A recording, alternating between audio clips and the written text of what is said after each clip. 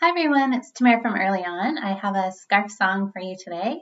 Um, I have a really long scarf. You could use a tea towel, a receiving blanket, you could use some tissue paper, whatever you have. You can also just do the actions with your hands if you want. Here it goes. Come under my umbrella, umbrella, umbrella. Come under it's starting to rain. There's thunder and lightning and wind and rain.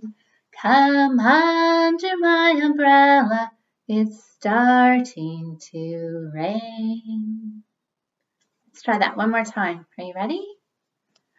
Come under my umbrella, umbrella, umbrella. Come under my umbrella, it's starting to rain. There's thunder and lightning and wind and rain. Come under my umbrella, it's starting to rain. Are you under your umbrella? Take care. Remember to be kind to each other.